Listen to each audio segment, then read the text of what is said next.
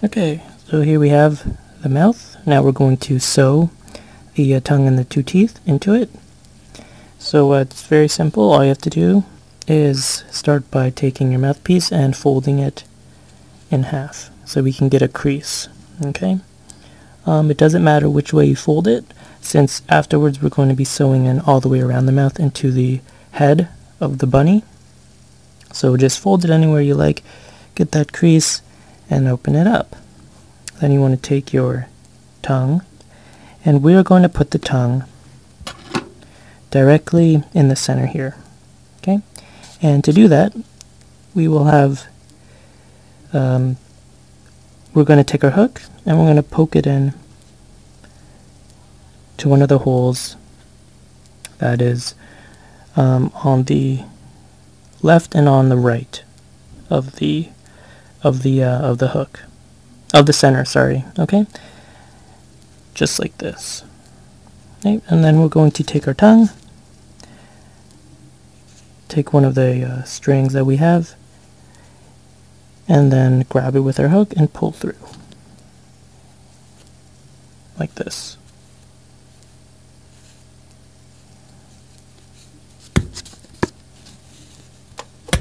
Okay. And we're going to do the same thing on the other side of this center hole. And we are sticking our string on the um, above the crease.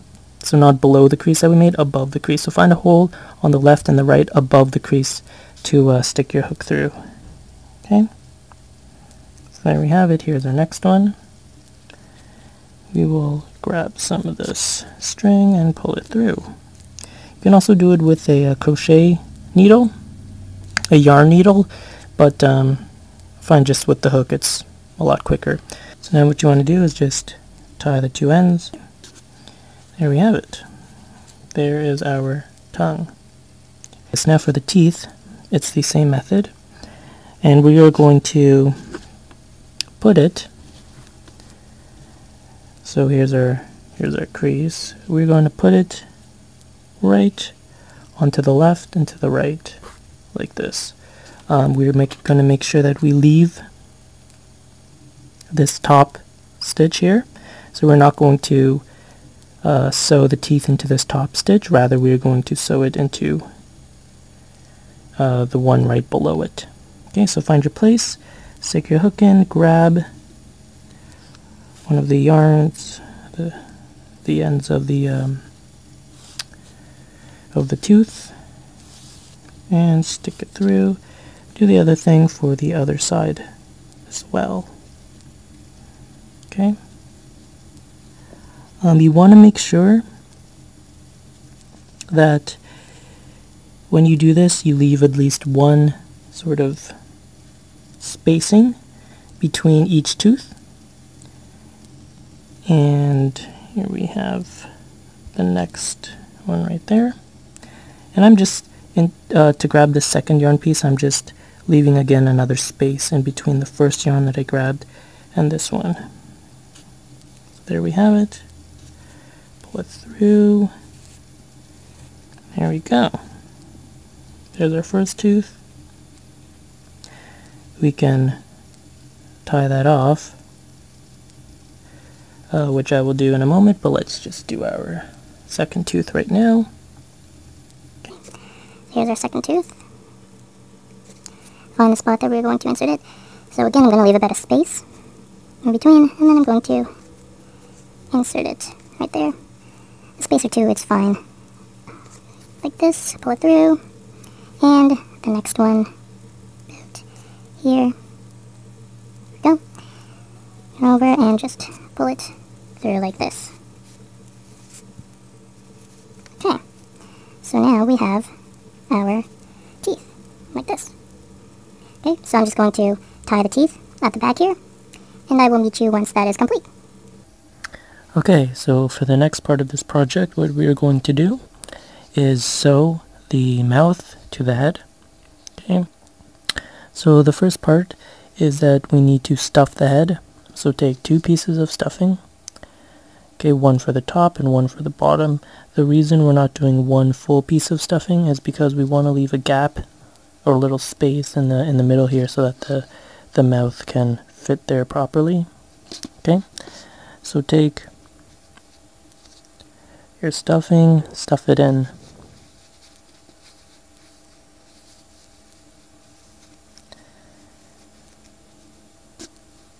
Like this. Okay, you don't need to stuff it too tight.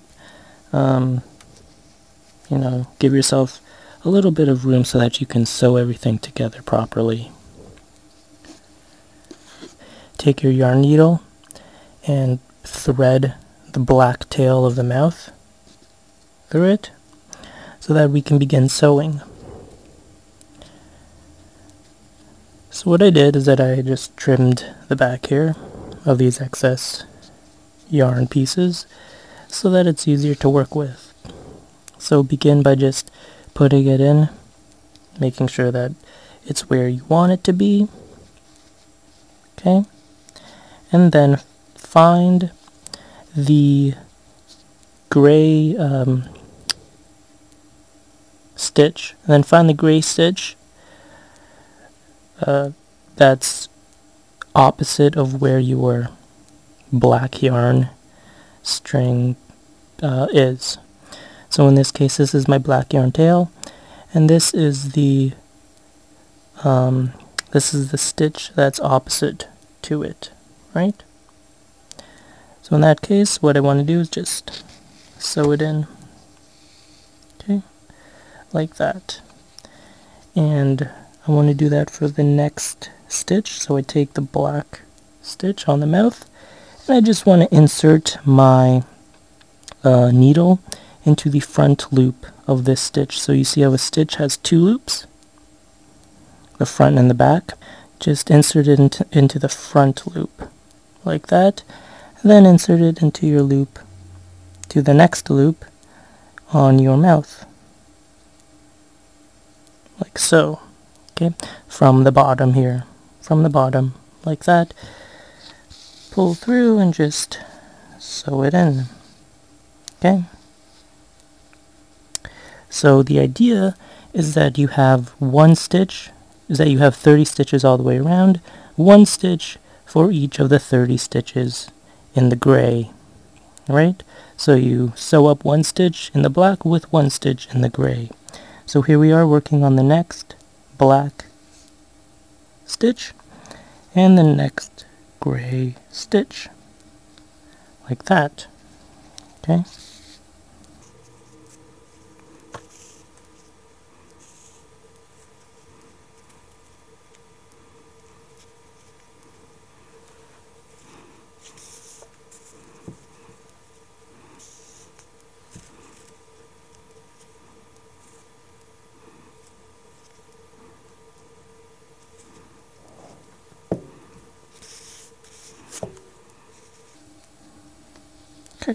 so here we are now, working at the top uh, part of the mouth.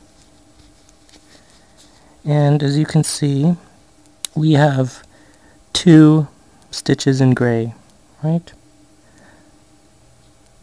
Uh, what you want to do is that you want to work in the the front loop, so the one closest to you uh, not the back loop, the front loop. Okay, so work in the front loop of your black, and oops, this is the one prior to that, one second. So work in the front loop of your black, and then work in the front loop of your gray, just like that. And if you find that your uh, bottom lip also has two loops, a front loop and a back loop, then again work in the front loop, the one closest to you. Um, in the case of mine, mine didn't. Mine just had one loop to work through. But, um, but yeah. Okay.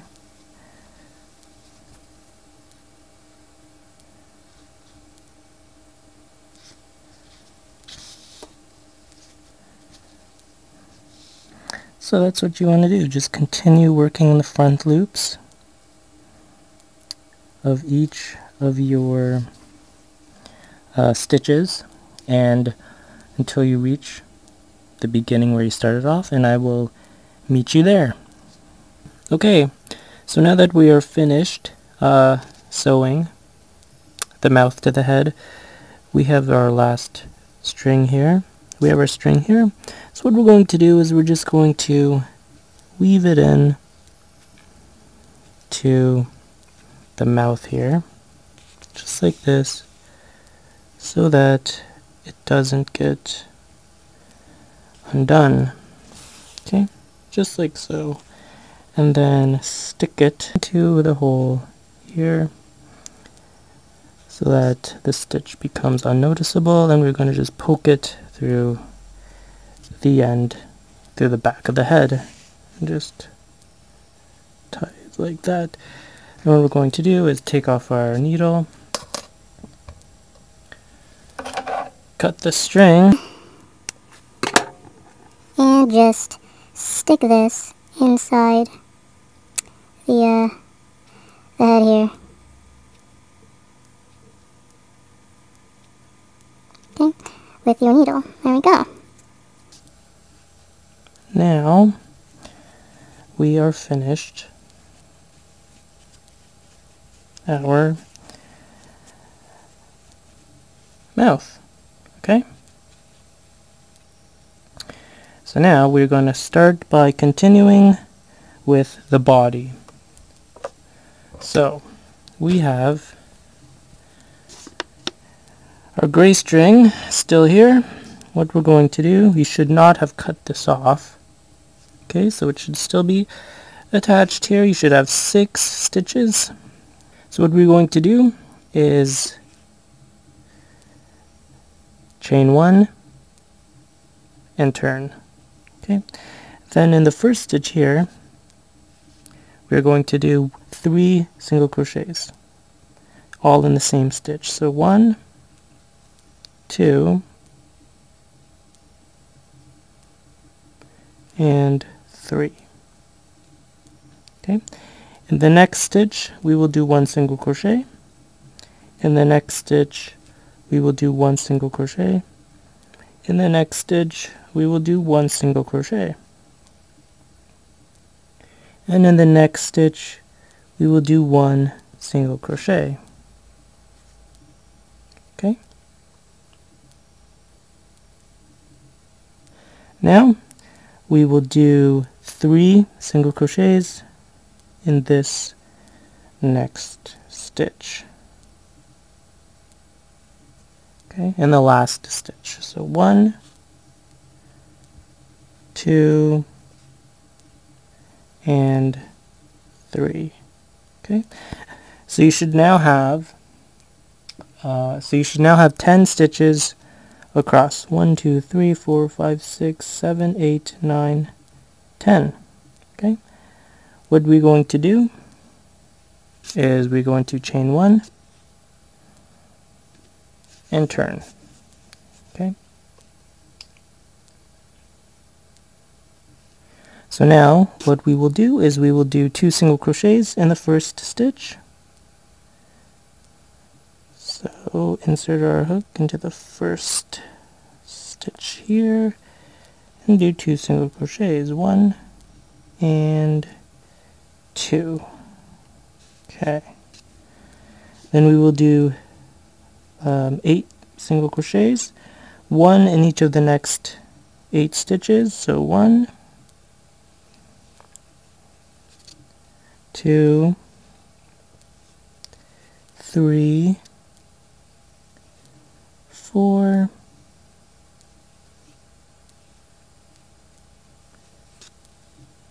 five, six, seven, and eight. And the last stitch we will do two single crochets. So insert it in your final stitch and one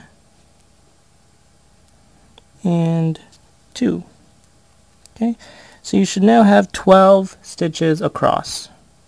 Okay, so now we are going to do the arm.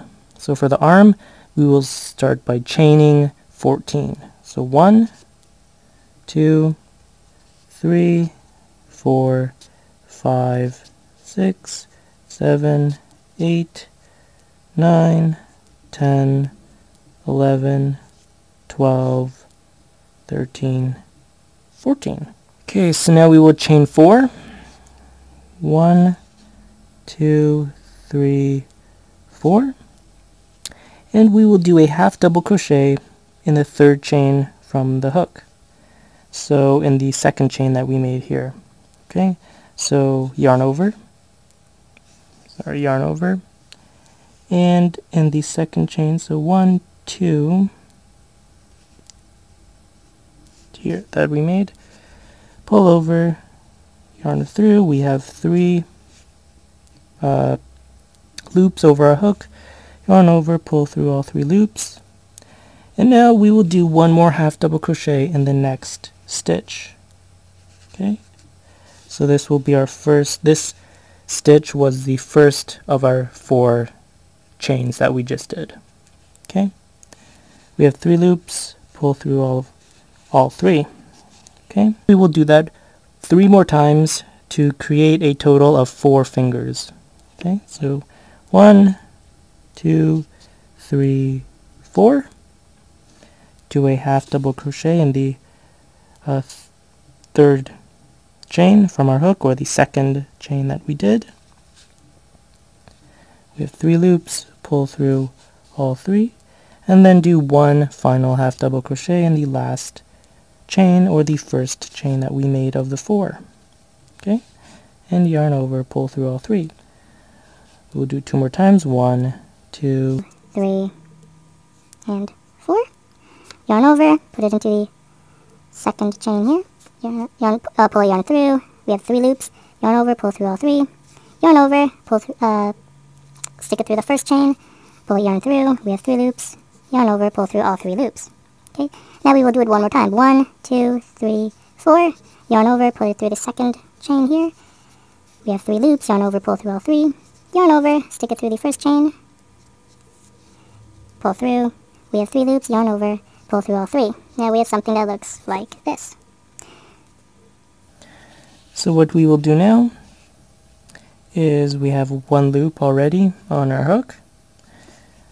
Stick it through this loop here. So we have between fingers uh, 4 and 3 we have a chain here.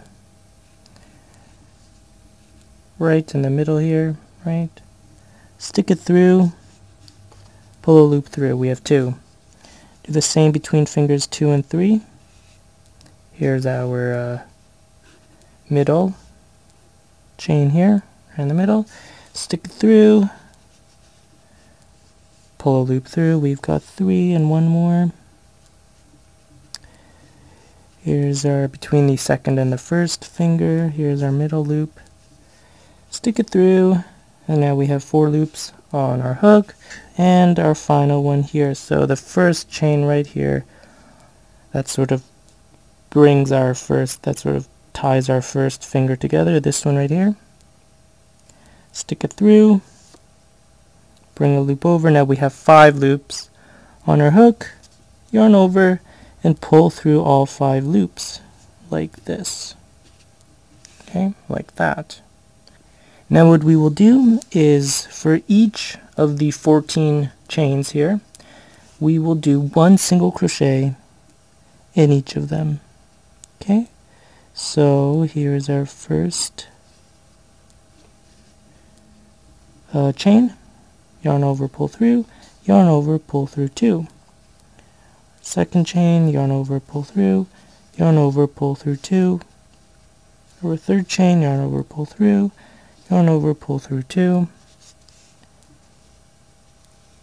Okay, our fourth chain, yarn over, pull through, yarn over, pull through two, and our fifth chain, yarn over, pull through, yarn over, pull through two. So continue doing this all the way to the end here, and I will meet you there.